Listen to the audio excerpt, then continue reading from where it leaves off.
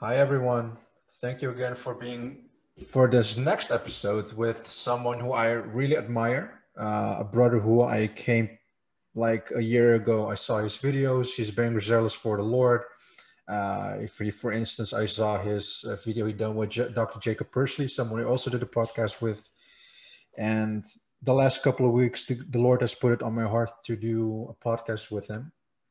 And I know that he, even better than me, knows and understands the Armenians because we are Armenians ourselves, but we also under, try to understand what it is, what it means to be Christian. And we have come here together in order for Armenians to reconcile the culture that they inherited from from the Bible and from the churches and why it is that the churches are so significant for our culture.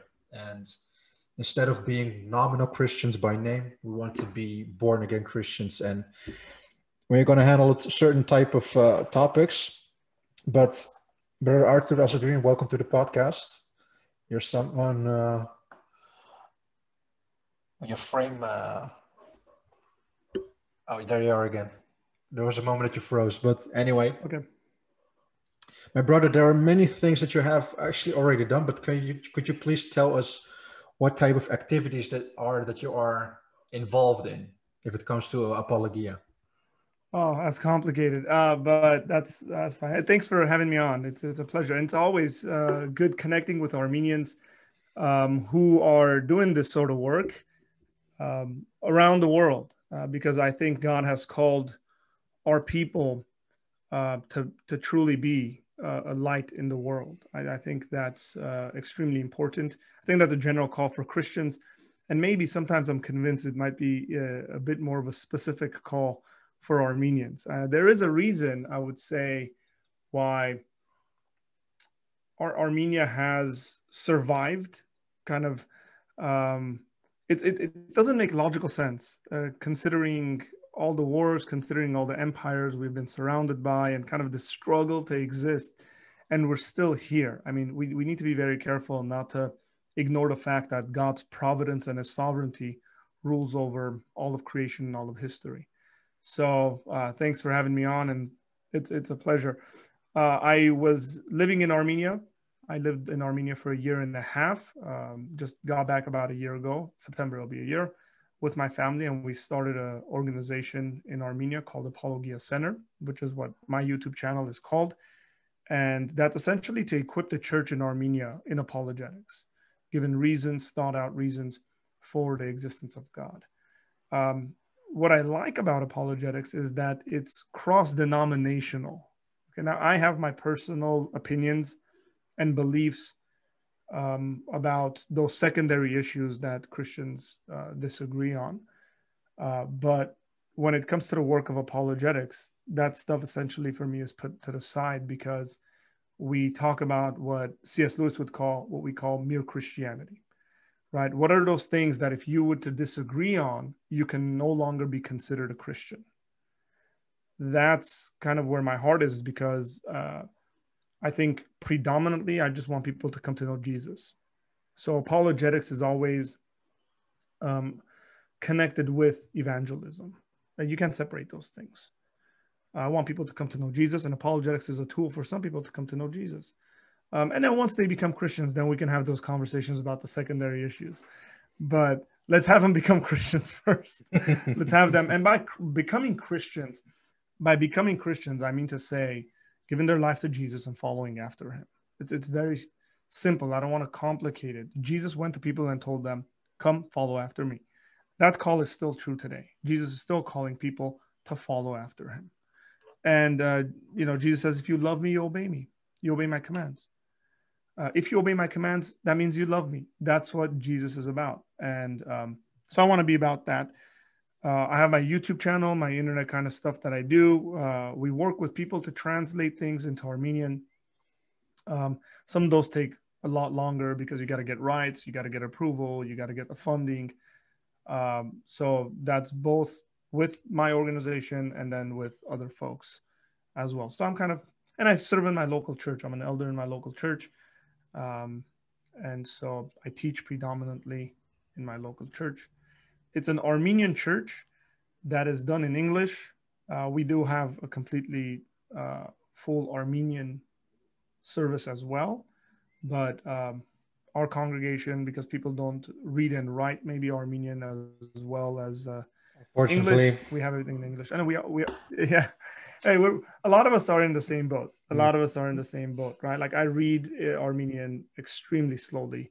Yeah, uh, but, you know what happens. You know when time? I think about when I when when I scroll through a, a, Facebook feed, for instance, and I see like an Armenian post, there's a side of me that thinks like, why didn't I write it in English? And there's a side of me who says like, it's good that I've done this because I need to learn Armenian.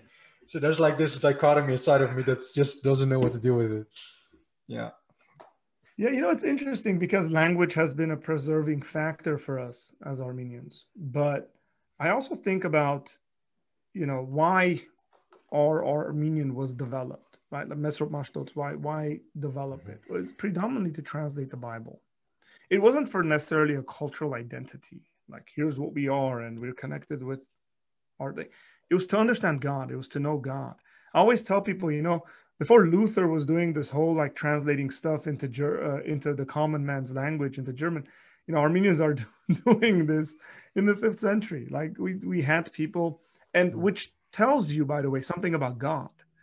When you see different cultures, different Christians in different cultures, working extremely hard to get what God has communicated with us into the language of that people, what that tells me about God is that God inspired these people to do this. And God actually wants us to understand Him in the best language that we understand. Okay. Now, if for me, the best language to understand is English, or if it's Mandarin, if it was it's ancient Armenian, right? If it's Mesropian Armenian, if it's Greek, then I think God would want me to use that kind of a language. I'm not saying we shouldn't speak Armenian and read and write. And I, I, I teach my children Armenian. I speak to them in Armenian, but I also realize living outside of Armenia, there's it brings about all sorts of challenges. Listen, living in Armenia brings its sorts of challenges, right? Uh, where Russian was the dominant language for for the last whatever many years. It still is to a certain extent. Uh, so language for me is a tool. And culture employs language that, but that it, it, goes way beyond language. There's a lot more involved in it than just language. Uh, just as so yeah that's some of the stuff i'm involved in and uh, continue to be involved in. Just as you already mentioned it's not only cross denomination it's also international so there is this particular part where um, uh, there's like the individual there's like the group and there's like the international community in of itself. And that's the language that the lord that the god itself is speaking in the vernacular whatever languages that you speak. And god would not be god if you not understand the language in that you speak. That's right yeah. Um, yeah christianity is not like islam. You don't have to learn a specific language. That's a subject um, apart anyway. you know like uh, god will communicate you in the language that you best understand yeah coming uh, coming to it um, many many Armenians to this day know that uh, Armenia was once part of the Soviet Union, and mm-hmm. we somewhat know about communism. But what type of effect does communism had uh, on Armenia, and especially on the on the Christian side of the Armenian spectrum? And on mm. a global level, what the type of dangers does co- communism or Marxism take with it. What could you say about that? Well, um, let me start here because uh, I'm not a historian or you know whatever all those things. This is going to come from my personal studies and kind of understandings. Communism specifically, and you can say Marxism. Uh, uh, Marxism is going to, I think, naturally lead to socialism that leads to communism. I think that's a continuous trend, um, and it is not just a political system some people might not like what I'm about to say, uh, but it is a pseudo theological system. Okay, it's a fake theological system.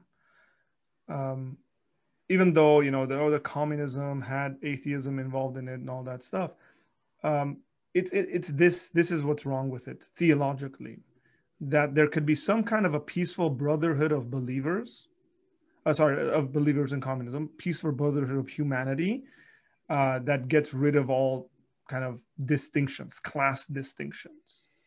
So, what does this assume? One of them is, assumes that human beings actually have this ability and capability uh, to do this, where the Bible says humanity is sinful naturally. We're rebellious against God, so we're naturally going to have division. So when I look at humanity, I'm expecting there to be evil because because scripture says human beings are not good naturally i think when the communist ideology the marxist ideology has a different view of humanity okay and that clashes theologically or the lack of theology however you want to look at this. I don't think any christian can be a true marxist because it's the, creating this utopia creating this heaven on earth it uh, flies straight in the face of what christian uh, ideology is. So it doesn't surprise me that most people who are Marxist communists uh, are are not Christians, right? Are or or they claim Christianity in a very general sense, but they've redefined what it actually is. They, they their theology isn't biblical. Um, so Armenia was under communist rule for give or take, let's say, seventy years. And what has that, that done in Armenia? Uh, my personal observation would be one of them that it's created a a population that relies too heavily on the government. Still till this day, if you're in Armenia, I had I had uh, multiple conversations. Taxi drivers are some of the best people you can have conversations with in Armenia. I agree uh, because they're willing to have the conversation, and and they have lots of conversation, and they have something to say. And regularly, I would have uh, individuals uh, complain why the you know the government's not doing this and that. And sometimes I ask these individuals, why are you expecting the government to do that? And they would kind of look at me, you know, like, what's wrong with you? I mean, it's the government's job. And I would say, no, I would say, it's not the government's job, it's the individual's job as a individual citizen. And it was very strange for me to come at that. Now, I'm I'm an American conservative, um, and that means I believe in extremely small federal government, um, and um, I'm a constitutionalist. I would say so. My American kind of right political philosophy would come through in these conversations, and I would realize people aren't understanding. And I would say that's a result of communism. It communism creates a lazy populace.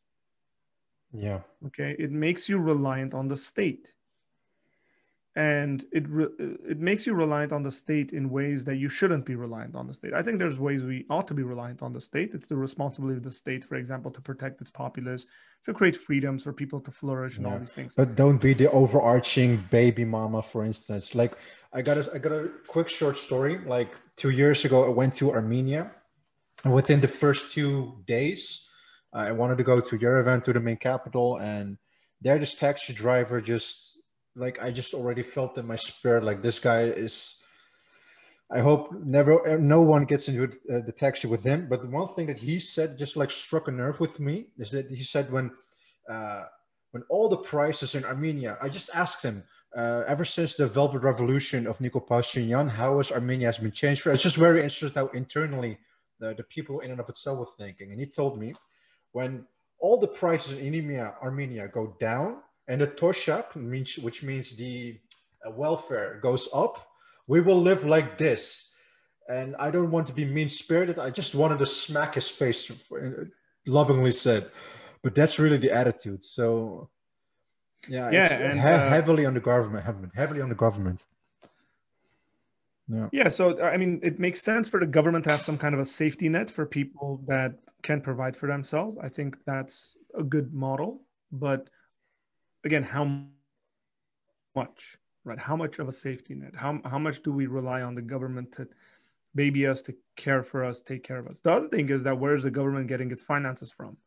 It has to be getting it from somewhere. It's getting it from its populace, uh, which would result in heavy taxation. If you want to have heavy, if you want to have high stuff like that, the government providing, say, all of your needs, you're going to have to tax your population, which for me ends up, again, it doesn't create motivation it doesn't create innovation Um, I, I don't want to go into the political philosophy. I think it's created laziness in Armenia.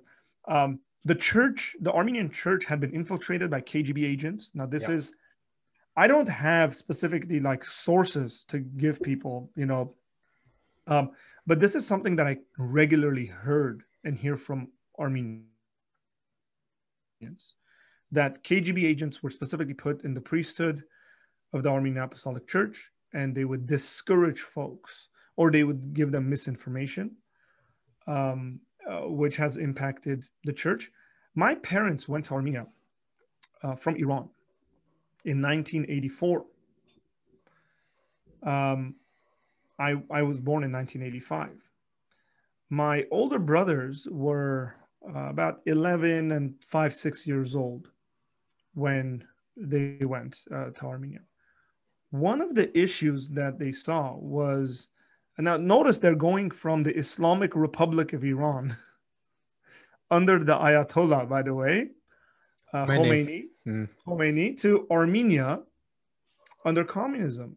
And so it was school, you know, school time. My brothers went to school and they had crosses hanging from their necks because even in Iran, they were Armenian Christians and they wore crosses.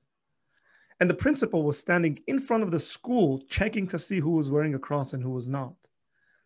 And they ripped the crosses off of my brothers' necks and and then immediately put my brothers in indoctrination camps, communist indoctrination camps. Wait, in Armenia, 1985, 1986. that just boggles me. So again, when people talk about Armenia and Christianity and stuff, and I say, well, here's what communism did, Yeah. right? Um, it this is the sort of stuff where you're an 11 year old who's again coming from an Islamic country where no Muslim came up to you and ripped a cross off your neck. It- you were allowed to live in relative peace, right?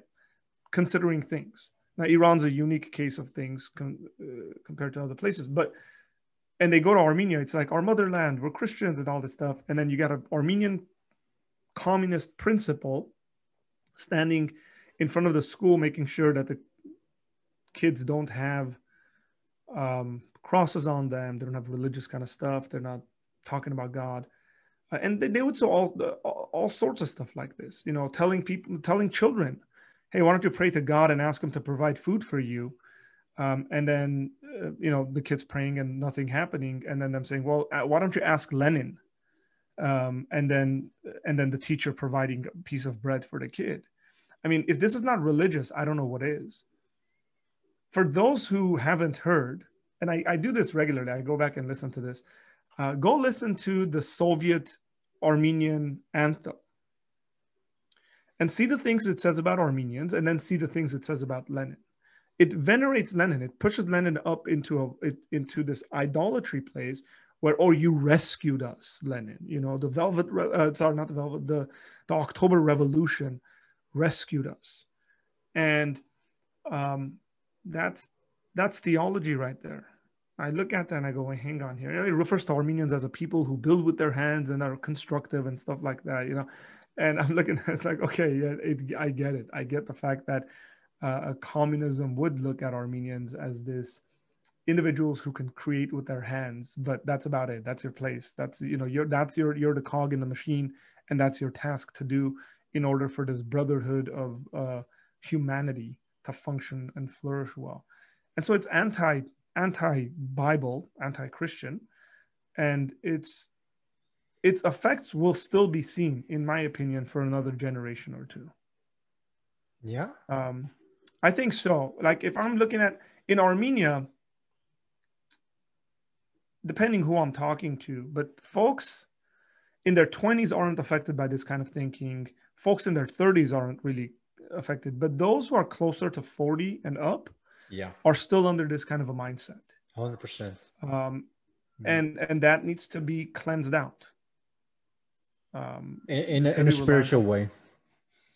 yeah yeah yeah yeah absolutely yeah I, when i you know Yeah. cleansed out i mean our minds need to be renewed we need to we need to get rid of bad ideology and ba- bad thinking and bring in good thinking. Yeah. um, and for me good thinking first and foremost is biblical thinking. Okay? It's christian thinking. And then added on to that we can have all sorts of philosophical notions and ideas that get developed. And if they're if those philosophical ideas and notions are developed and supported by scripture even uh, you know even better because the thing that really surprised me as, as i got much older is that the people of my generation for instance who have like access to internet have like access to a whole plethora of bibles and all that type of stuff also dumb stuff. You have like new age stuff atheist stuff all type of stuff but at least you have the access to it. But i do sense that uh, like when you have like a forest and all the trees are cut off you got a little seeds are growing back up again. So like they know that th- this cross that we're wearing has this particular significance and uh, the young generation is reviving a certain type of sense. But i do sense that the older generation like 40 plus 50 plus that's like this taboo stuff. It's like they wear the crosses but they say it's like oh it's it's fantasy stuff. And that's the thing that bothers me. Like i don't want to to like get put myself on the high horse and like i know what it means to be a christian god forbid to forever to let that type of pride enter me. But i do know for a fact that i was once a nominal christian. I proclaimed yeah i was a christian. I go to the church. They have a mosque. I have jesus. They have muhammad. And that was about it like mm-hmm. a, a football club. But then all the way throughout my life i had like my road to the damascus type of story. And um, and the significance of our churches, the significance of our history, the significance of Chor Virab, the significance of Vartan Mamikonian, all those type of figures, it just like it it vibrated something inside of me, and uh, I don't think that the older generation, or particularly the type of spirit, just negates it. That say that negates the whole biblical stuff uh, that they actually know what is really going on. And I think that it's really that typical Armenian proud, hubristic type of way of looking at things. Yeah. And that's the whole apologia thing is so crucial for that. Yeah. So in, in uh, I, when people would ask me, how is it coming into conversation with people in Armenia, people from the States would ask me this, and I would respond to them by saying, it's much easier in Armenia to talk to young people about God than it is to old people, which is the absolute reversal here in America. In America, older people tend to be more religious, younger people tend to be more secular, not, not religious. In Armenia, the older people who grew up under communism tend to be the ones who are irreligious, right? Like they, they don't want to talk about God. It's again, like you said, it's like a fantasy. And then the younger people are like, let's have these discussions. I love having conversations uh, with say an Armenian who's like, well, yeah, I'm, I identify as a Christian, but I don't really follow this stuff. Um, it was much easier for me to have that conversation than mm. someone say 56 years old who says, soil, yeah, yeah I'm, I'm a Christian. That's what we are. No more conversations. Like they don't want to have the biblical conversations. And so it's that there's a lot of room for very good ministry uh, amongst Armenians in Armenia. Yeah and part of it yeah, has access to uh, you know it's it's you know the internet brings about all sorts of access and people are interacting with various folks if um, atheism is on the rise in armenia if, if people don't think atheism is on the rise in Armenia, they don't have their ear to the No, I thought like the two years ago that I went back to Armenia, I saw, I saw people walking around with uh, the sickle and the hammer of a sickle and the hammer of the uh, communist sign. Yeah, uh, tattooed up, not necessarily something against tattoos that indicates that they are atheists, for instance, but you really sense they're trying to be secular, trying to be more Western like. When you think to go back to your roots, the roots are trying to become like where you are right now. So, so here's the other thing about the roots argument uh, that's very concerning to me is that some people say, let's go back to our roots, and paganism is on the rise in Armenia, like ancient Armenian paganism. Yeah, Okay, I don't know if how much familiar you are with this, but there's individuals Somewhat. that are like yeah. committed to the ancient gods. Yeah. yeah. And and so that's dangerous as well because again their argument is well before Christianity we were something else. Let's go back to that. Um, and so it's not a conversation. I, I like the roots conversation quite a bit, but we need to have a truth conversation before the roots conversation, right? Like, Amen. was it true? is what you're saying, is what you're believing true? If it is, then even more support in our ancestry that we have, some of the people you mentioned. Um, and and then let's do that but if it's not true then hey you know like if i'm gonna go and worship a you know anahit or something like that um then what's the point other than hey it makes us different from everyone else? By the way in reality it doesn't make us any different. When you look at all the ancient gods they're they they're all the same. They have different names right? Mm-hmm. um in you know if in the depending who you're asking and stuff like that right like if the whole ahura mazda kind of stuff that it, you know persian religious influence on armenia uh, if you're looking at zeus and looking at these characters you know they're very extremely similar if not the same especially in the pantheon yeah. uh, you know river gods mountain gods war gods like these yeah. kind of stuff yeah. so it doesn't really put us at any kind of a different place you know what does put us different is, is, is worshiping jesus um, who conquered death by his death. I mean, you come up with another one.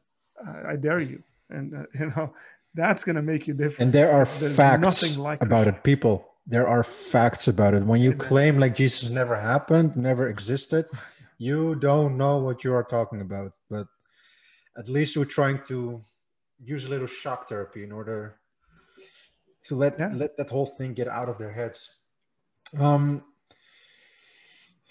like there was also a particular part that I wanted to address, um, like all the way throughout uh, the history of Armenia. Uh, Armenia was kind of like the Job story, very zealous, somewhat righteous, but it is it is a type of Job story, and uh, I don't need to I don't need to tell you that what happened last year with the war and all that other type of stuff.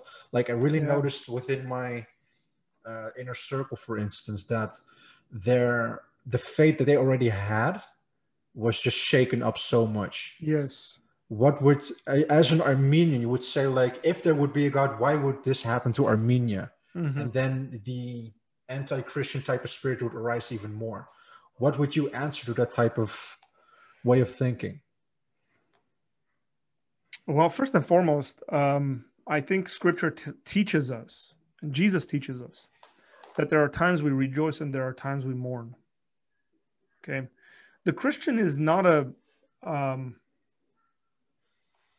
idealist in the sense where we just expect good things to happen. Uh, as a matter of fact, the Christian says, Jesus said that uh, blessed are you, for people will persecute you and revile you for my name's sake. So the Christian is a realist. The Christian has to be a realist in the sense that we are not promised butterflies and rainbows and flowers, right? Like we're not promised for everything to be good. We're not necessarily promised that we're going to be healthy and wealthy and no thing will touch us. Like that, that's not a promise we have in scripture. What we have in scripture is a very realistic view of life. Uh, read the Psalms. Some people who are extremely evil will prosper and do very well, and some people who are very righteous will not. Uh, and the best picture of this is Jesus himself, the most righteous individual to ever walk the earth, um, completely sinless. And scripture says, uh, you know, he was considered cursed because they crucified him. Cursed is the man who hangs on a tree. And to a certain extent, he was on our behalf, but not because of his own wrongdoing. Even the even the thieves on the cross, at least one of them recognizes this. We deserve to be here, he says, but this is an innocent man. Um, and so that's the way I approach this. But we've all mourned. We all should mourn. We have a collective mourning that should be happening. I'm not going to sit there and say, oh, you know, I just expect these things not to happen. No, I expect these things to happen. I expect much worse to happen, as a matter of fact. Mm-hmm. Um, not just because we're Armenians, uh, that's just the reality of existence in life. Okay, and I think that's a, the Bible presents a very real view of existence to me. Um, now, there's a theological question that comes into the picture. If, if God is, exists, if God is good, uh, why would God allow these things to happen to Armenians or to us? Because we're the first Christian nation, so on and so forth. Now, there's an underlying expectation there. Because we are Christians, because we're the first that whatever, does that somehow mean these things aren't supposed to happen to us? And that's a false assumption. It's a false expectation. Because before we talk about that, let's talk about people who were Christians before we were. Okay. Mm-hmm.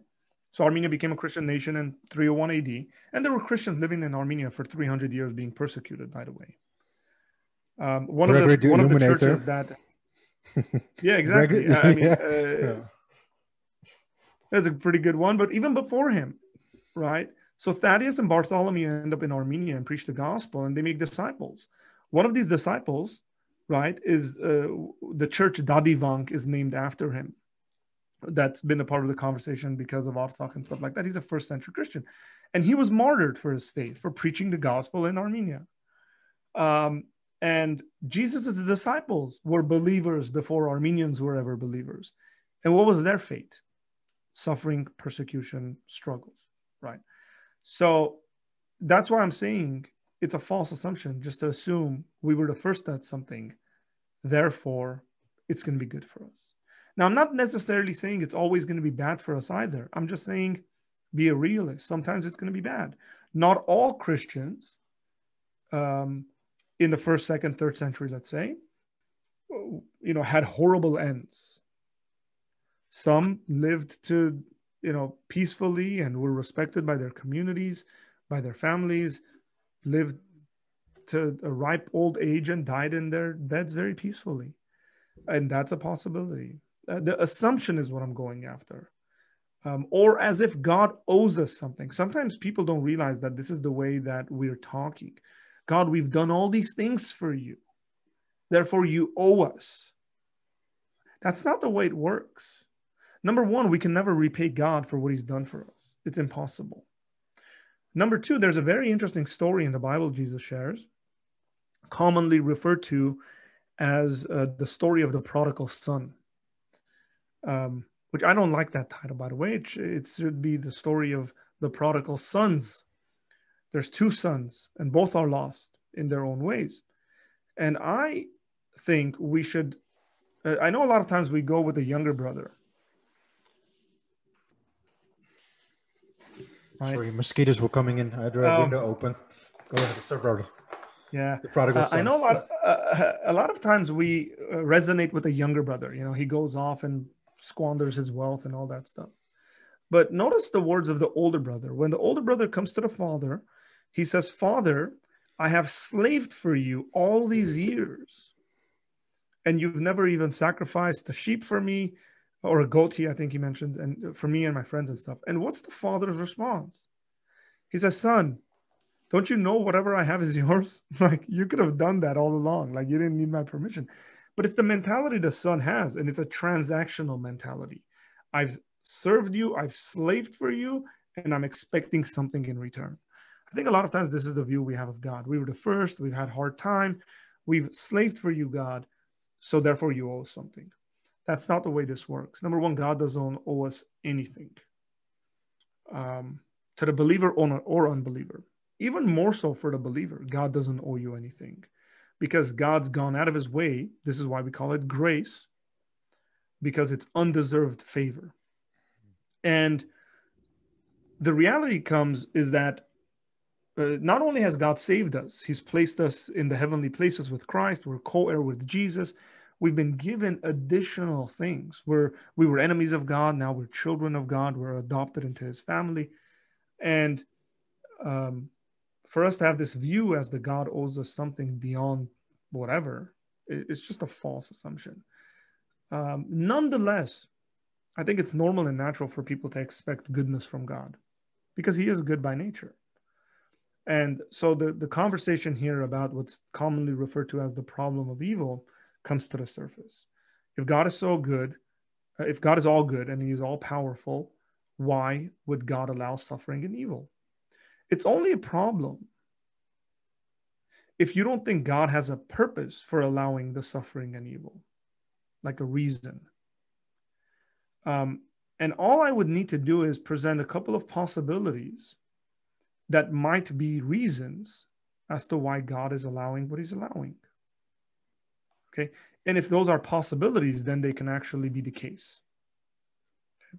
And human existence draws, uh, we can draw a lot of analogies from our personal lives where suffering is actually for our benefit, not actually for our detriment. Um, for those who work out regularly, suffer regularly physically, it's mm. painful to work out, um, but it's for your benefit. It might, you know, listen, we might want to drink Coca Cola instead of water all day, every day because, uh, you know, uh, it's pleasant, but, you know, it's very bad for us. So there's a certain kind of joy you're robbing yourself from suffering that's taking yeah, place. But that, that's that's, drinking. that's what the Bible also says. If I remember correctly, in Hebrews 4, it says that those the, the Lord loves, he chastens or he disciplines. And I think that that type of molding of, of our culture as also betas as what we are. Uh, I think yeah. in, in, in comparison to other ethnicities, for instance, Armenians have very thick skin. They are very passionate. You cannot run over them. So there are certain type of things that's it is had, generally had, had a true. purpose. Yeah. So it's it's generally true that individuals and cultures who've gone through a tremendous amount of suffering are a resilient people there's a collective kind of resilience. Um, and again, this is why I said in the beginning that I think God has a special call for us. Um, there are situations and places I can get myself into, and this is a personal testimony, but I can get myself into and have conversations about Jesus that a lot of my non Armenian friends don't want to. They kind of are afraid to offend. They're, they think it's not the place and when I think about it, and I go, okay, maybe they're right. Maybe I'm being too, you know, out there. And part of it is because I'm Armenian. Like it just boils. It's not a personality thing. It's like no, this is like just our culture, man. When I talk to my friends, we're yelling at each other, but we love each other dearly. Um, and like the zeal that we have, and that comes into our cultural and ethnic identity. And um, and this is just true. And i, I don't want to make like armenians up here you know like we're not divine like more human or something like that. But i think this is generally true when we study cultures that are that have been through injustices that have been through uh, just a hard time historically. You know there's this there's this quote um, and i might ruin it but it says difficult times uh, create uh, like people with character. You yeah. know people with character create peaceful times and peaceful times create you know weak people. Mm-hmm. um, that's generally true. Okay it's generally true. And uh, we, we've just kind of continuously been in difficult times um, always throughout history. It's not that we haven't had peaceful times. I think we have. Uh, but i think some of that just ge- geography. We found ourselves in in in a location where we're always at conflict with the powers that be. Armenia was always stuck between, even pre Christian times, we're stuck between. You go back all the way to Assyria. You know, there's Assyria that's the superpower, and we're right next to them. And then there's Babylon that comes, and we're right next to them. Uh, and then the Romans come, and then the, the Persians come, and then the Romans come, and we're there. The Greeks came and went. You know, then the Mongolians came and went. Then the, then the, the Turks came. Yeah, the Ottomans came. The Ottoman, you know, the Seljuks came, and and then and then the Russians came. You know, the like sustenance came. yeah, you know, it, this has always been the mm. case, mm. and um, and it's created kind of a certain kind of culture within us. I see. I I'm not saying this is inherent in us. I'm saying it's created that, because difficult times are going to create uh, that sort of thing, and generally in in our collective psyche, this exists. But I want God to use that as an individual in me and collectively in my people for his glory. Um, I am utterly convinced. This is going to sound very strange to some people. Okay. And I'm not alone in this. I am utterly convinced there's no people group that can take the gospel to the Turk the way the Armenian can. Amen. 100% okay? agree. Yeah. Utterly convinced. Uh, and I'll tell you the reasons. Number one, because of that kind of cultural thing. Number two, we have more to forgive than any other people group when it comes to the Turks. Okay. And maybe the maybe, right? It, the Greek and the Assyrian can say a very similar statement. Absolutely. Then I would put the Greek and the Assyrian in that category and say there's the Armenian, the, the Assyrian, and the Greek are the people groups that can take the gospel to the Turks. Um, the reason is because when an Armenian says, I forgive you to a Turk, okay, even those words um, breaks so many barriers and walls That's, that that's if just an un- American, that's just unheard of. yeah, well, I've seen it happen. I've seen it happen, man, and and it's it's crazy. Um, here I'll share a story. Before I ever got involved in in this, uh, when I was in Bible college, I had uh, a uh, a professor who was a missionary, and uh, he he told me that he found himself in Armenia somehow, and he said he found himself in Armenia. This guy is an American that doesn't speak any Armenian. He doesn't speak any Turkish or anything like that, right? It's just this guy knows English and he's in Armenia, and he said, I was in a church where some Turks visited, Turkish Christians visited. And he said they had decided to do a feet washing at this church where the Turkish believers, and these guys were like elders in their churches, washed the feet of the elders of the Armenian church, this Protestant, small, tiny Armenian Pentecostal church. And the Turkish elders, elders in their church, believing elders, decided to wash their feet. And this American guy said there was not one dry eye in that entire room, including his own. He said, I didn't understand what they were talking about because I didn't know the language. But he said, I knew exactly what was going on. Right. Mm. Um, and, and so I'm utterly convinced of that. And I think when we're not doing these things, and the unbeliever is not going to understand what I'm, I, I don't expect the unbelieving Armenian to understand what I'm talking about here. Yeah. Um, because I don't expect them to understand that because I, the we we forgive because God's forgiven us. We love because God has first loved us. Um, when you take that on yourself, then you can actually go and forgive and hopefully bring about a reconciliation. And I've sat um, with Turkish uh, brothers and sisters, honored and worshiped the Lord together, prayed for one another. I've seen Turkish pastors um, whose grandfathers killed Armenians, blessing and repenting and praying for the children and the grandchildren of genocide survivors and this just blows your mind because it's like no one other than Jesus can accomplish this task. Amen. Amen. Um, so I think we're called we, we're called to something very serious, uh, and there's a there's a reason why we ought to do that. That, that's why it frustra- frustrates me even more. You know, that, that we, we are like at this pinnacle moment of we got so much resources, we have so much drive, and it's still it's it's just like this whole bubble of gas and it's someone needs to put a lighter on it and just like it goes Yeah. of itself so God, God will do that. Uh, Yeah. I'll tell you this. You know, uh, so I'm thinking about the Old Testament prophets. You know, Elijah sitting there saying, "God, I'm alone. I'm alone. I'm alone." You know, and then God says, "No, I have a remnant." Um, I interacted, and it's really nice that you had Jacob on because he works with a good number of these people. But I interacted with young Armenians who are passionate for the Lord and feel like they have a calling from the Lord to love their neighbors in that region, right? Um, especially the ones that hate us the most. And it's like there's no no way uh, other than Jesus putting this kind of a love in their hearts that this could actually happen, where they're regularly praying uh, for the neighboring countries. They're praying for Iran. They're praying for Azerbaijan. They're praying for uh, for Turkey. They're praying for Georgia. And if anybody who's watching this is an Azeri, know that there's Christians praying for your well-being. I mean, you go and reason with that. You go and think about that.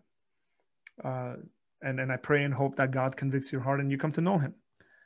Uh, that's the reality. That's that's our prayer. Uh, politics is good, but it is not what God can do. Right. god implores us to listen to authority to listen like a child listens to its father but the only our authority that there is is god himself Absolutely, yeah. Mm. And when the authorities are against God, then God is uh, takes precedent over over those authorities. God will deal with them like for Yeah. instance and God I- will deal with go ahead brother God will deal with us as well. Everyone. Right. Like, the, yes, that's the thing. Well, sometimes those statements are made in the sense of like, you know, get my enemies or something like that. And I, I, I'm not saying you're you're doing that, by the way, but I know a lot, and I've had the temptation to as as well. And then we realize, hey, none of us stand before God without sin. We all need to repent. Everyone is fallen. Psalm 51, uh, 51 verse 5, Ecclesiastes 7 verse 20, Romans 3 to 29. For we all have fallen short for the glory of God, and the wages Amen. of sin is death. So nobody escapes. And I'm, I'm, not, I'm not saying so, uh, it's like, haha, you're going to be damned. Like, I'm going to be damned if I don't take his grace. That's the whole point. That's right. That's the point that you just mentioned. Like, grace is where you don't deserve it, but you still get it there's a different difference between mercy and grace. Mm-hmm. And that's the whole thing. Christianity, for instance, it's not karma. It's not about how many good points you have against bad points. It's not about that. In a system like that, you always lose, by the way. Okay, explain.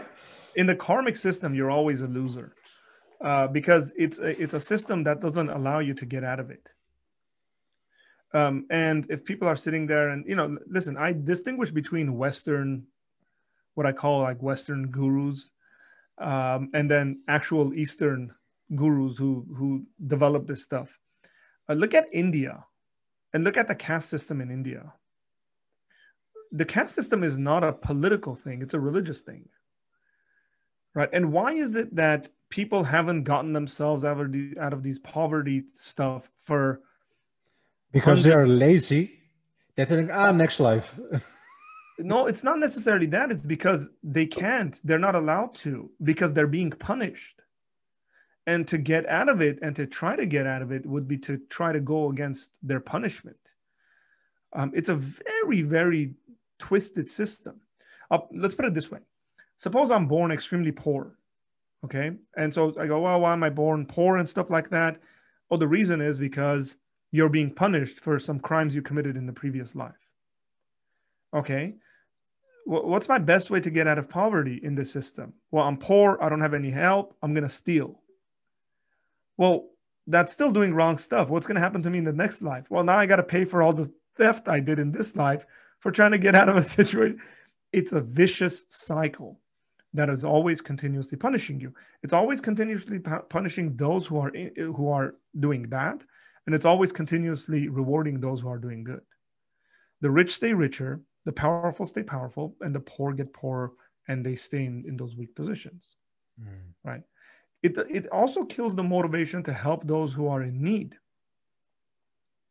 because you're interfering with their karmic punishment now if people aren't convinced of this by the way just go look at why pe- people in india were so shocked at the work that um, mother teresa and the sisters were doing there. Because what you're going and sitting next to someone and comforting them who's on the brink of death like why? That's a clash of theologies. Mm. because jesus has taught us to love those who are the least of these um, and when they ask jesus questions like what did this man do or his parents for him to be punished like this jesus said nothing he's not being punished because of his own sins or the sins of his father right? That's not what's that's not what's going on here. You know, oh, if the rich can't be saved, who yeah, can? That also goes back to the Armenian type of the, the theodicy problem for like uh, look at all the punishment for we, for what we have done. It's the same type yeah. of stuff that the friends of Job told him. Like the reason why all these things are happening is because you did something wrong, because God is just. But we all know, exactly. for, for all the people who have read Job at the very last few chapters, like 36 to 30. The best part. Yeah. God is just saying, you don't have no clue what it is, to, who I am and what I do. Yeah. And, and that's ultimately what the problem of evil brings us to, where God is beyond um, in the sense that he has reasons that we don't know about um, and he's doing stuff that we're clueless. One of my favorite passages, maybe in all of Scripture, is when Job, uh, when God confronts Job and says, "Brace yourself like a man, for I will question you, and you will answer me." Now, this is our terrible. It's my favorite part because God's like in your face, Um, and it's terrifying. I'd never want God to say that to me. You know, Lord have mercy. br- brace yourself like a man. You're about to be questioned by. And, and the reality is that by the end of it, Job realizes he can't answer these questions, and it brings him to a humble place. Um, and and this isn't to say shut your eyes, shut your ears, don't ever question anything. That's not what God is saying. What God is saying is, listen, I have more power, I have more authority, I have more knowledge than you do, I have more wisdom than you do, and the way I organize history and the way I set stuff up might not be the way that you would do it. Partly because you don't have all that information. Mm. If you had all that information, you probably would set it up exactly the way God set it up. Yeah. You know what? What gave me goose, goosebumps for like um, the war that happened when in it was like the the last weekend of September, the war started happening and people were getting riled up. And I remember sub two images. One image was uh, there was this uh, Armenian cleric, this Armenian pastor with this like this huge beard, and the quote that he just gave was like, uh, "The love I see in the eyes of these soldiers is more that they have for Armenia than I have for God." So Hmm. like they were so they were giving up to give their lives for their country, and the other part uh, was when a, a- an Armenian cleric was baptizing the soldiers before they went into war, and I saw within my inner circle that just it just moved people. Like even the people who ne- didn't necessarily believe, they didn't understand the theological implication of why it did it was that it, that it happened. And uh, some the thing that yeah, um, me, there. Uh, go ahead. go ahead. No, finish your the, thought. the, the thing that gave me so much hope like in that particular war uh, many people's faith in god diminished but mine just quadrupled or tenfolded so that was a very weird thing that happened to me because i knew that they were with him it just gave me so much comfort to know that they were there Well, that's the thing about suffering, right? Um, and it's very interesting because you'll see two people who are going through suffering. Let's just say two people have cancer. And one of them will draw extremely close to God. And one of them draws away from God. What this tells us is the situation, right, is not a foolproof situation to do one or the other. great point that's a very in- great point the yeah individual's desire, the individual person's desire to seek God in all things, right, is going to give an outworking, I guess, of increased faith or not. The person who's looking at the situation saying, God is in control, I trust him. I got a bunch of questions that need to be answered, but I still trust that he's in control and I want to reason through this is, in my opinion, generally going to get closer to God. The individual that has all the wrong assumptions is going to find more reasons to not trust God, not believe in God. And um, that's just generally the case. Suffering also uh, makes people ask questions that they weren't previously asking. Uh, there's a famous quote from a famous, uh, I say famous now, I forget his name, um, American general who said, there, there are no atheists in in foxholes. Foxholes being uh trents right? Like uh and he said there are, there are no atheists. And i remember in 2000 and this is around 2005 i was uh, i was doing some campus ministry. We were preaching on a campus and some guy came to me and said hey brother you know thank you for doing this and we got into a conversation and i realized we as we were talking um, this guy had just returned from i think either iraq or afghanistan um, and I said, How'd you become a Christian? He said, Man, I I went into the war an atheist. He said, I joined the military. I was a devout atheist.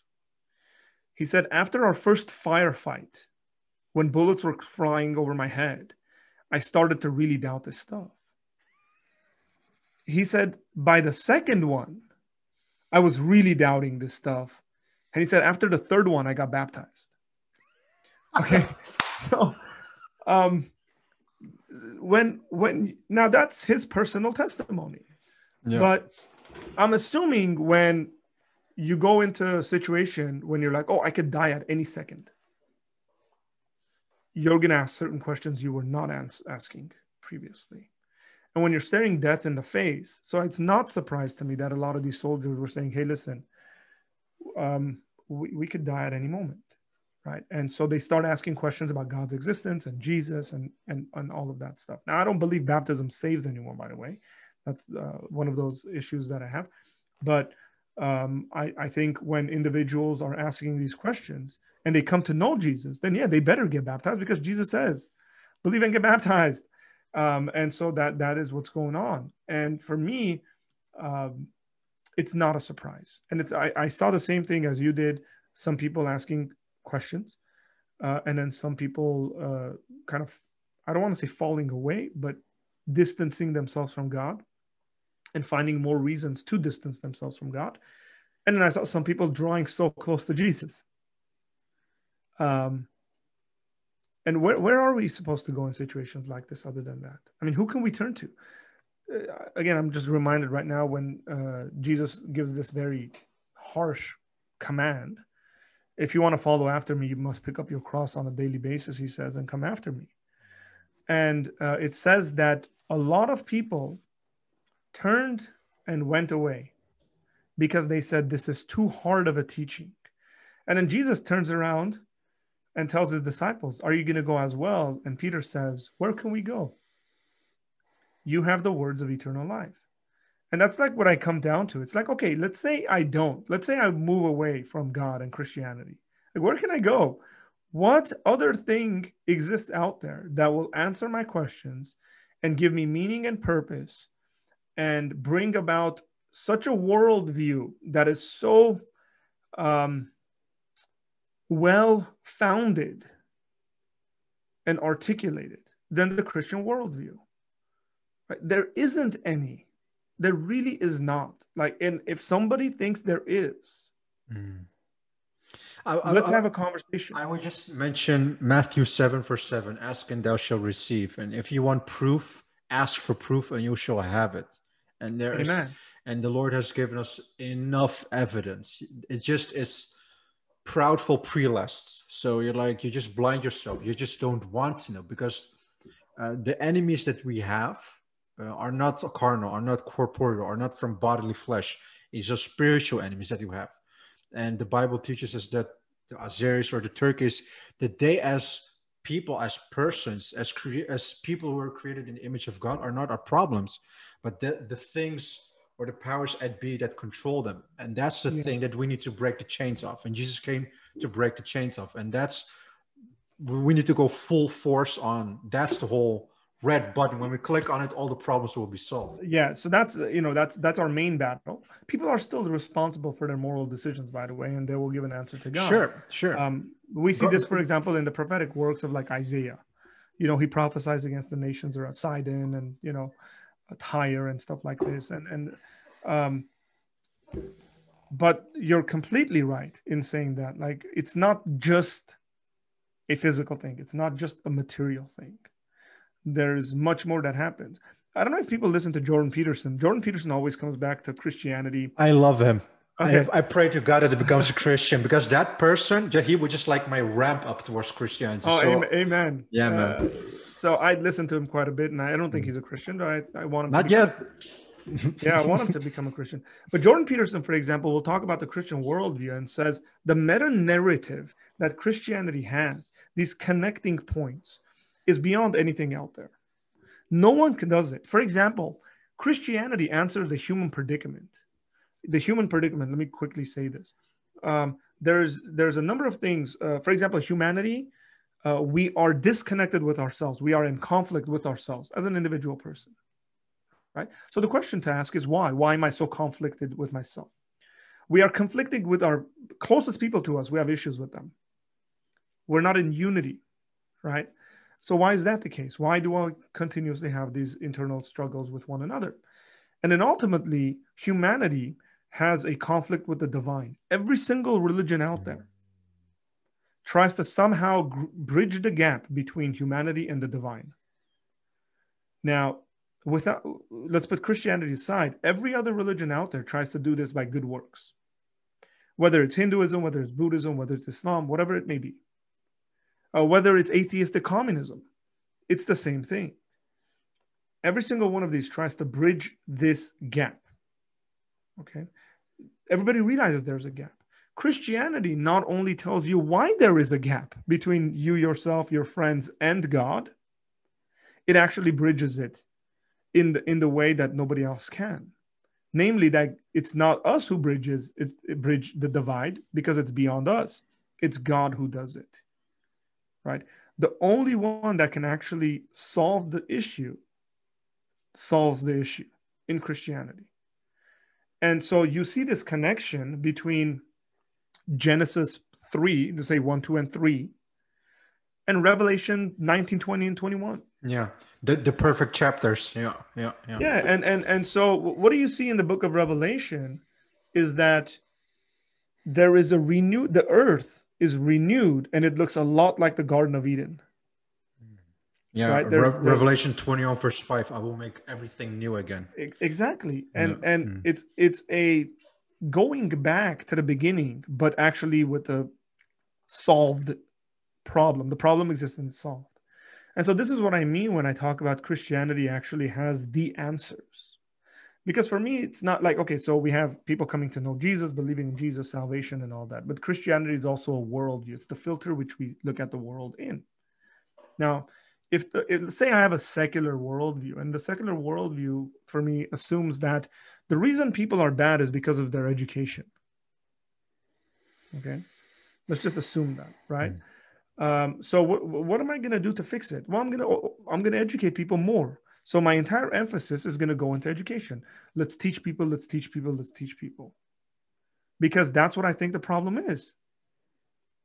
But if I have a Christian worldview and I think people are naturally bad, and what needs to get get fixed is their nature then i'm going to address that situation completely differently. There's a famous american uh, preacher from the early 1900s he said if you have an uneducated thief who's stealing little nails from a railroad track and you take this uneducated thief and you put him in school expecting him to get more educated and not steal the railroad uh, the nails from the railroad track he says when he gets out of school he's going to come back and steal the entire railroad because mm. you've, edu- you've educated them to do it better.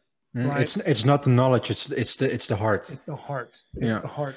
The heart let's is deceptive. yeah. Let's let's never forget that Germany pre World War II was probably the most advanced and educated in all areas, whether in the sciences, whether in the theology, whether in the philosophy.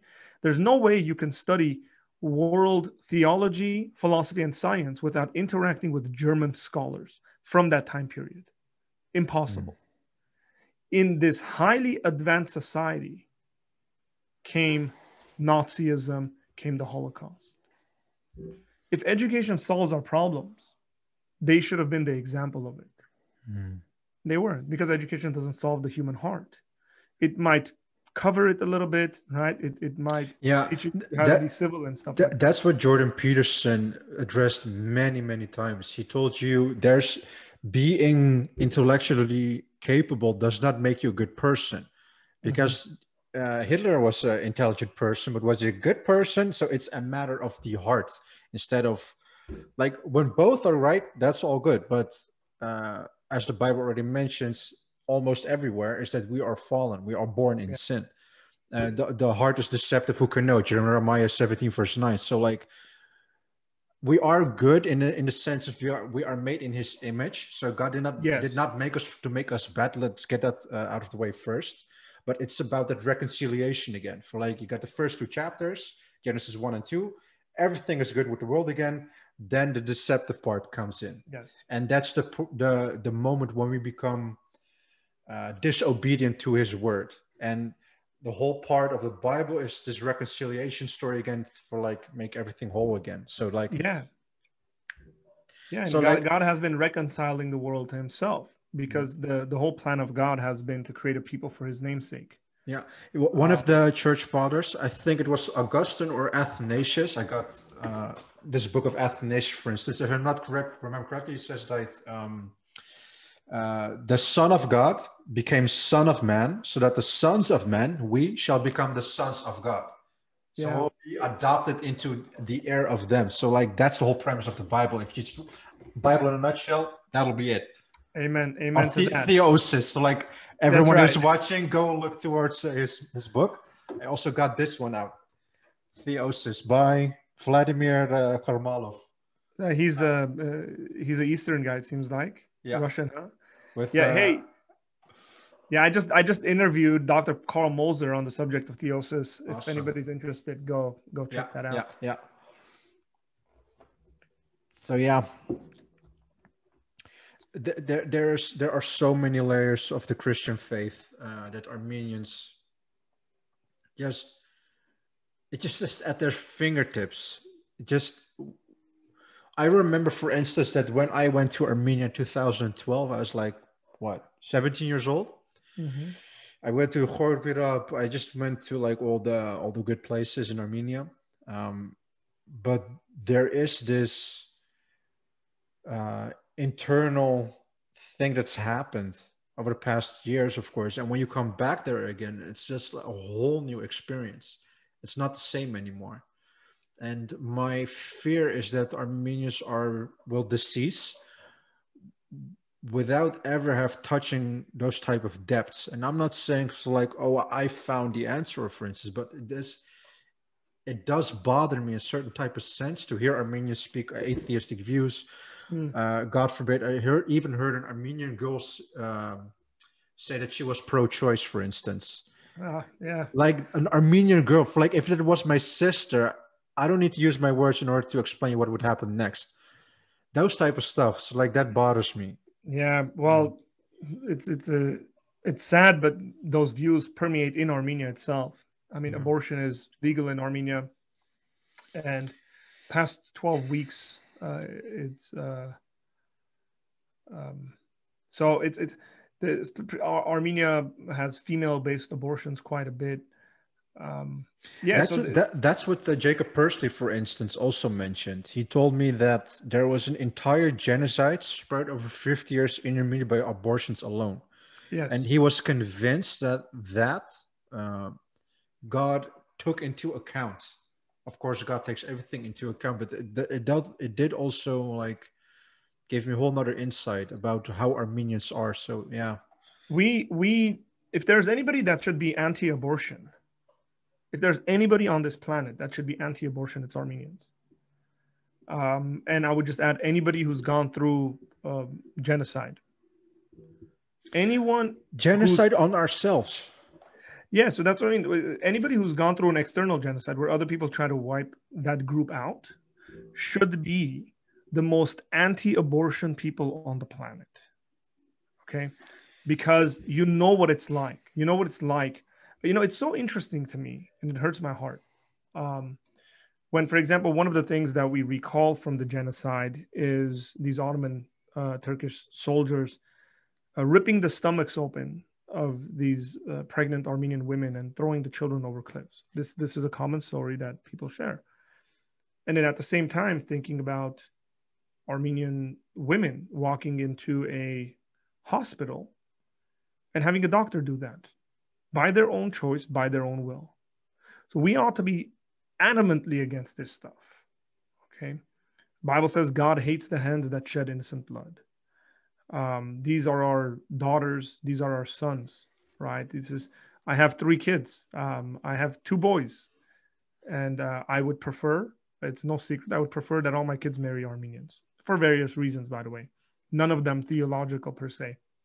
Um, first and foremost, I prefer they marry Christians if you know they they follow the Lord. Um, second of all, uh, I would prefer for them to marry Armenians. And um, I think about okay, who's who's my son going to marry if if Armenian moms are killing their daughters? Who's my daughter going to marry if Armenian moms are killing their sons?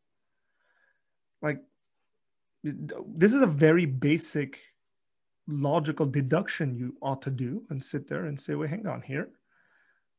We shouldn't be doing this. We should be loving and cherishing. We should be having more children, right? Like not less.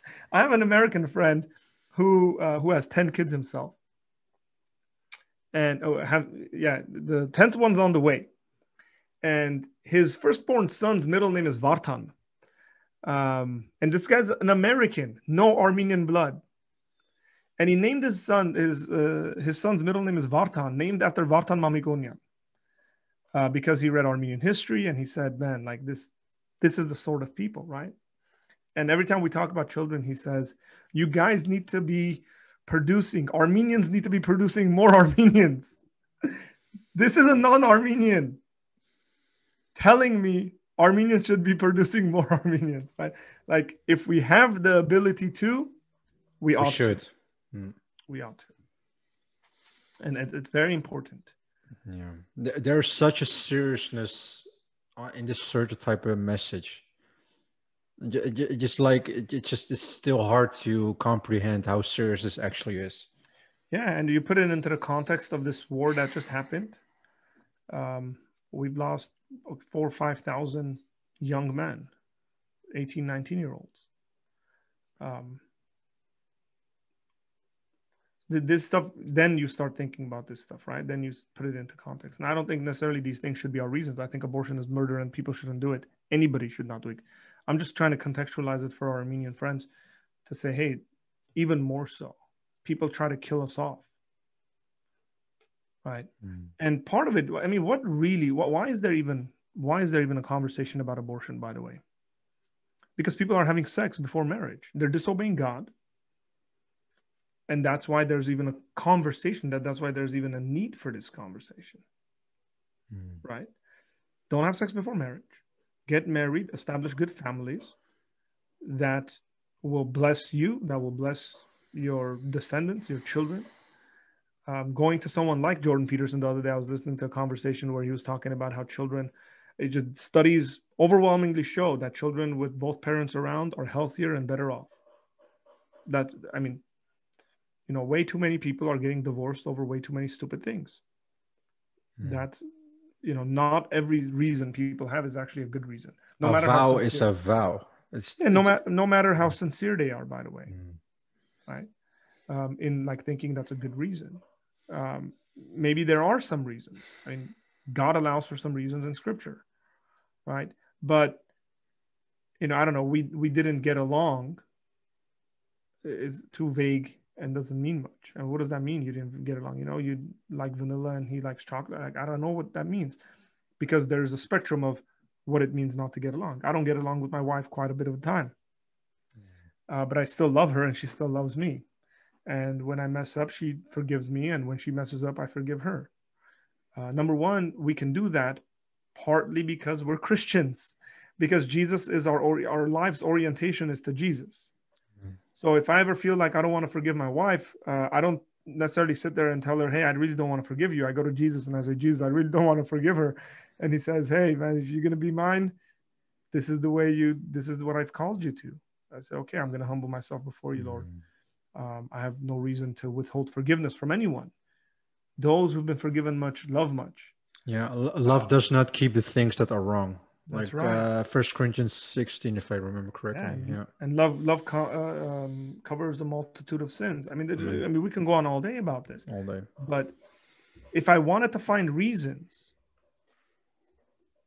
I could. If my wife wanted to find reasons to divorce me, she could. I guarantee it. Give her six months, she'll find plenty. Right?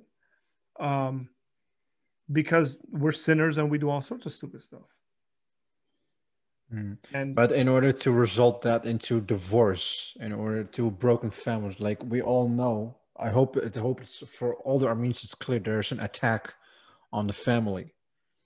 For like from all the from all the sides, like yeah, the God's ordained structure in order to the human being, the individual, to prosper in of itself by his God-given laws, for instance. The- these things are like uh, when you have like a parent who tells a kid, "Don't do that, don't do this," and the kid doesn't understand it necessarily. But when he gets older, it's like, "Oh, that's why my parents said it." that's that same principle does count to us. Don't don't negate the fact that you are a bit older that you all of a sudden are mature. Maturity is don't mistake uh, the age with uh, how smart you are for instance. That's all problem. I get i, I see people who are 60 years old they're still using uh, they're still acting as infants. Oh yeah, yeah. and that's the whole thing so if it comes to armenia for like the whole abortion thing and uh, the, the whole fighting with each other thing. It just Armenia needs already has a couple of smacks on the head, but still needs to have a couple more. I think. Yeah, and and that's okay. I think God is gracious and God is kind and loving, but again, He disciplines those whom He loves, yeah. um, like you quoted, and and that's true. That's true as individuals, as as Christians. God's gonna. Uh, I mean, if I don't discipline my children, uh, man, I must really hate my children right? Parents who say like, "Oh, I don't discipline my kids," I'm like, you really don't like your kids. You do not care about their future. Mm-hmm. Anybody that has children realizes children need to be disciplined. I, I remember that the Bible once said is that their stomachs were their gods. For instance, when you le- let people over to their um, hedonistic type of uh, needs and and things. Mm-hmm. like when you have a kid who wants to that there is not a certain moment in your thought that says like nah that's not good for him. So like yeah, their stomachs like the inner needs are their guts but that's the whole like thing. yeah or an open grave um the if i let my my kids would eat chips for breakfast lunch and dinner right um i don't let them because it's bad for them. If i let them they'll watch television 24 hours a day but I don't let them. My seven year old's at a point where he's reading, and you know, it's like, hey, you sit down and you read for the next two hours.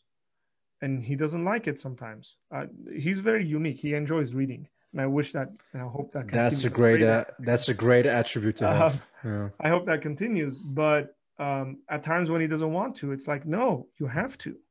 It's good for you, right?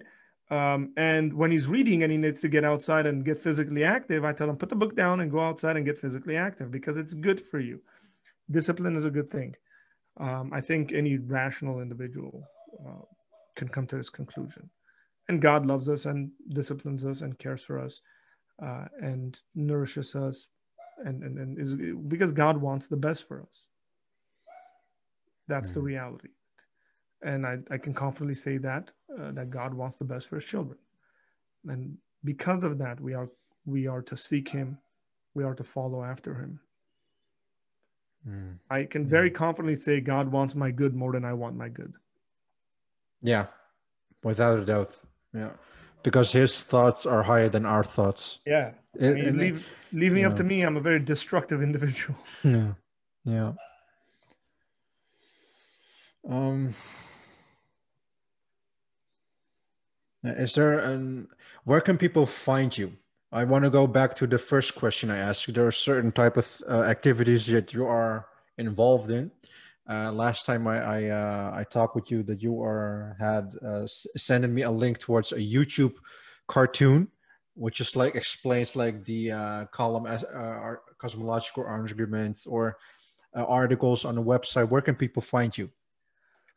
So uh, the best place is YouTube currently. I mean, we have a website, www.apologiacenter.com. Mm-hmm. Um, there's, if you're looking for Armenian content, we have a number of Armenian content there where things are, uh, most of them are translations. I think two of them are written by a sister in Armenia who deals with apologetics, a very good friend of mine.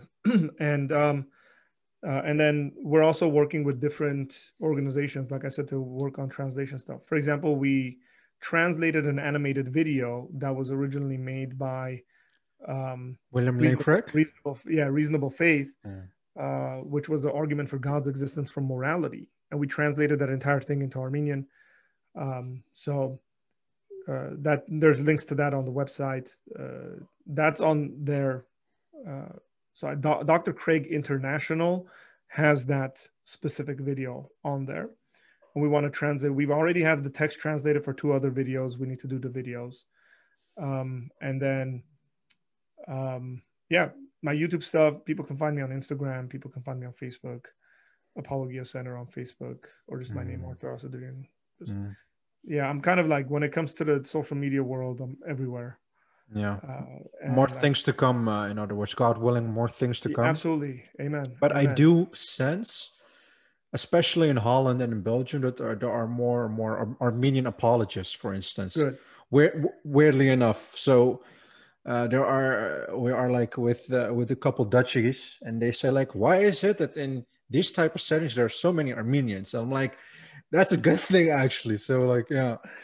Hey, it's it's it's excellent. Uh, yeah. We we need it. The more, the better. uh, because every single one of us have character types, personalities, where individuals that have similar personalities and character types are going to connect with right? Who are all and, body of the of the body of christ and everyone has his particular function. Yeah. Amen. And that's the point right? Like i don't if if someone has a desire to do this whether on camera the way we're doing it or in the background if someone wants to write or something like that do it please. Because the the world we live in now is this is what i would say the roman roads which you know the, the statement all roads lead to rome uh, that was a true statement, by the way. All roads led to Rome. Rome created an extremely good road system, uh, which, by the way, a lot of Christians used to take the gospel from one place to another in a safe manner, in a in a mm-hmm. relatively safe and fast manner. Um, and we have an extremely fast manner and safe manner, right? And it's this what we're doing right now. I mean, you're in Holland and I'm in the United States. I'm in the West Coast of the United States and we're doing this and it's going to go on YouTube and someone from Indonesia might watch this, someone from Saudi Arabia might watch this. Like we don't know. Um, and so uh, put yourself out there, let the Lord use you. Uh, serve in your local context. Like I said, you know, I serve in my local church. I have Bible studies at my house on Thursday nights. I, um, you know, I preach on Sundays. I, I, I'm, I'm a big advocate of individuals serving their local church community. Mm. That's extremely important for our, our great fellowship. But when it comes to reaching the world reaching beyond kind of our sphere of influence uh, physically the internet provides us an opportunity to do that. And if we're yeah. not doing it by the way if we're not doing it i'll tell you who's doing it. The mormons are doing it. The jehovah's witnesses are doing it. Oh. the muslims are doing it. The, the the hebrew israelites are doing it. Um and the trinitarians oneness pentecostals. Like yeah, the, the, one of the funny things I have like uh, Edward Edward Dalcour, uh, who is mm-hmm. like the writer of uh, this book. He's like one of the guys who is like one of the lead if it comes to the Trinitarian doctrine. Mm-hmm. He, if I'm not if I'm not mistaken, he said like more anti-Trinitarians are getting better into attacking the doctrine than Christians are in defending it. That's, that's right, and that's yes. the whole thing for like yeah. it, the, the, edification part is so neglected and yeah christian educate yourself. any any doctrine any particular parts yeah. That's right. I mean at least get the basics of the christian faith down so that when you come into a conversation with people then you're able to at least do apologia yeah. Yeah give a defense give a reason for the faith that you have and do it and do it with gentleness and respect. Mm. like you don't need to, you don't have to go out of your way to uh, to be unnecessarily offensive to people. The gospel is yeah. offensive enough. Yeah. But the first part, that's exactly true what you just mentioned. But the first part of the verse of First Peter 3.15 says, put uh, Jesus first in your heart as yeah, Lord. Honor, honor that's, Christ as Lord in your hearts. Yeah. Always that, being prepared. That's the pinnacle point. First, concert, do not necessarily concentrate on the external word, what you're about to say. Mm. It's just more between you and the bubble that you are with your Bible and the Lord. Yeah. So what I would say that would be the first thing. Yeah. There's a couple of things in that verse that are very important if we break it down. One of them is honor the Christ Lord in your hearts as holy, set apart, right? And then it says always be prepared. Not sometimes, always be prepared. The other thing comes with preparation is work. If someone's going to prepare to be a, a pharmacist, they got to go to school, they got to educate themselves, they got to know what they're doing. I mean, imagine if you went to a doctor and you asked the doctor, and the doctor said, I don't know, I got to open up your head and do some surgeries on your brain. And he said, Are you prepared for it? And he looked at you like, eh, Not really, it's my first time. Um, you probably wouldn't want him open up, opening up your head, right? Uh, it takes time. We want people who are going to impact us in serious ways to be prepared for that. And so preparation means reading, uh, right? Preparation means listening. Um, praise God again, audio books, the YouTube, you know, there's so many ways Mm. There's certificate programs. There is, you know, bachelor's and uh, you know master's programs if people are interested in that. There's like week long intensives, month long intensives. Like there's so much content out there for us to be able yeah. to prepare ourselves. But th- that's not the whole thing. It's not about that that the attributes are out there, but it's the will in us. Like littleness, yeah. Netflix, Little littleness, bad habits.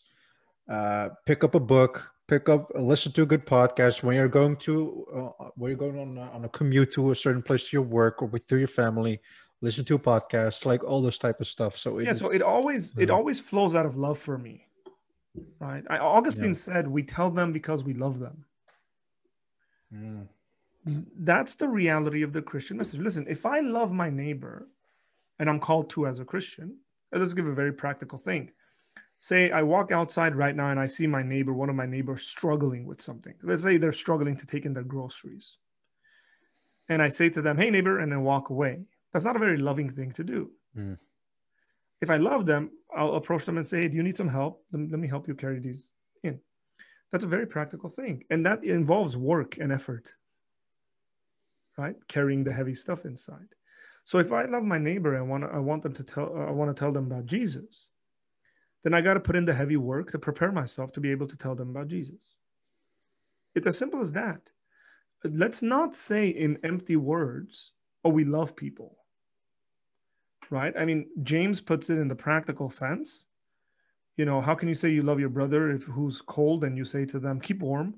He says, no, give, give him something to wear. Mm. You know, if you know your brother is hungry, you tell them, be fed. That's not the loving thing to do. Feed them. And for me, it's the same exact thing when it comes to the preaching of the gospel.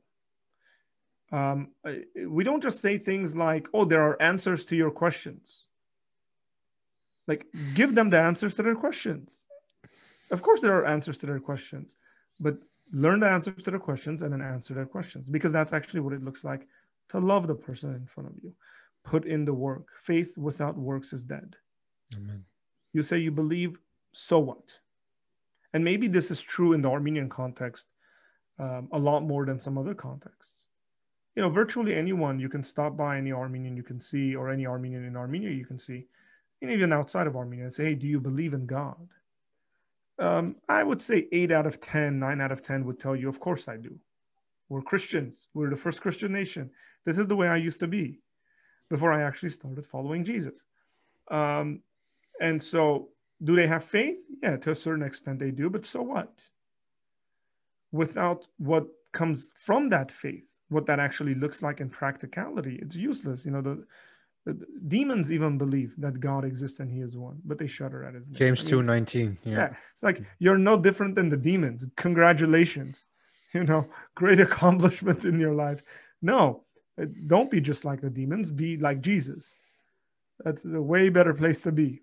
And so mm. let's prepare ourselves um, and go into do the the work. Not just prepare ourselves. And there's the there's a negative version of that too, as well, where you just keep preparing yourself and you do nothing with it. That's useless. Prepare yourself and put it into practice. Amen. Practice what you preach. Mm-hmm. And even uh, Jesus said in Matthew 7 for like, thou who does say, uh, Lord, Lord, should not enter into the kingdom of heaven. And even when you actually it's just like, for instance, when people watch you or watch me on social media, they see our pictures, they somewhat low, know what our interests are and all that type of stuff. But that's the surface level. But there's this actual deep level when you like know the person, when you're like, uh, how they are or what the way of the, th- the, the way of the thinking is. That's and right, Jesus yeah. says, for instance, "Depart from me for your works of iniquity. I never knew you." You know him by name, but do you know him as a person? And that's the thing when it comes down to you don't you know him by name, but yeah, even the devils know him by name. Yeah, and so yeah. so the one way we can put this is that it's very easy to know things about people. So right? what? I mean, we we all have individuals that we are fans of. I think, right? Like athletes or whatever like that and we know about them you know like for example i can maybe from top of my head say oh this athlete has like two kids um and okay that's good. You know about them. But you don't know them at all when it comes to the way that those children know their father or the way you know this individual's wife knows their husband or their friends. Um and so you know we use words like oh i love that musician. It's like no you don't. And maybe if you got to know them, you wouldn't even want to love them. You, you like their music. You might even love their music, depending on how you want to define it, but not them because you don't know who they are. You can know a bunch of stuff about them. It might actually be the case that if you see them, they treat you, they mistreat you, they treat you extremely poorly because they're very lousy people. Uh, just because someone has a good voice doesn't mean they're a good person. All right. So just because someone can kick a ball really well Mm. and pass it really well, that says Yeah. nothing about their character. Yeah, idolatry. Yeah. Yeah. one of the two major sins. Yeah. But we also do that with Jesus, like you were saying. We know all this stuff about Jesus, right? But we don't sit down and have a conversation with Jesus. We don't let him change us. And that comes into the into our prayer life, into our meditation life, into into those disciplines that help us draw closer to Jesus. And so there's plenty of people out there, specifically Armenians, who know a lot about Jesus. They know the religious stuff. They know about, but they don't know him. Right. And and what Jesus is really calling us to is to know him. Uh, yesterday I preached out of John chapter 15. Um, and and he says, Abide in me and let me abide in you. And he said essentially dwell in my love, right? So that your joy may be full. Right? Like so these are promises Jesus gives us. And we have access to that. It's if someone's just content on knowing about Jesus, it's that's not what Jesus wants from you. Jesus wants you to be in a relationship with him. He wants you to know who he is. But how would you answer that? How can you know Jesus? Well, there's very practical things. Listen, all knowledge starts uh, in the propositional sense, essentially, right? Uh, all of this stuff starts from the about. About knowledge is surface level knowledge. It's, it's good, you know. Uh, if someone says, "Hey, do you know Artur?" and you say, "Oh, you know, the, one with the beard that has a YouTube channel," you know, that's about stuff. And you say, "Yeah," um, and then you go into other ways of figuring out who I am beyond that. Maybe having a conversation with me and asking me specific questions. Um, and I would say God has revealed Himself in Scripture uh, in that kind of a sense. So we have both about knowledge about God. Um, God is a Trinity is an about knowledge about God. It's it's an important one, but it's an about knowledge, right? Um, but things like Jesus loves me and has communicated that he loves me uh, in the general sense and in the specific sense.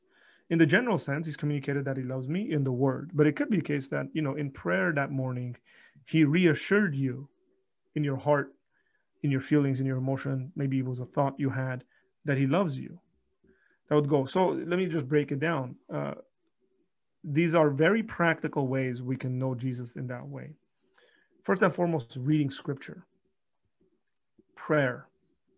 Okay. Prayer is just conversations with God, by the way. If you don't know scripture, you're going to have a hard time praying, by the way, because you don't know what to pray about. You don't know the about knowledge in order. So your prayer life should always be an outworking of your scriptural life. Um, I personally enjoy praying at the end of my devotional time after I've read scripture. Mm-hmm. Um, it, it gives me more stuff to pray for and about. Um, fellowship, Christian community. What kind of Christian community do you have? Uh, because if we actually function like a Christian community, which is to encourage one another onto righteousness and godliness and holiness and into a better relationship with Jesus, then you're going to know Jesus better because you have people encouraging you in that sense, okay? Strengthening you in that. Um, so, Christian community, I would say evangelism um, if if you why evangelism because evangelism will force you to pray for people you've never prayed for before um, and in praying for them god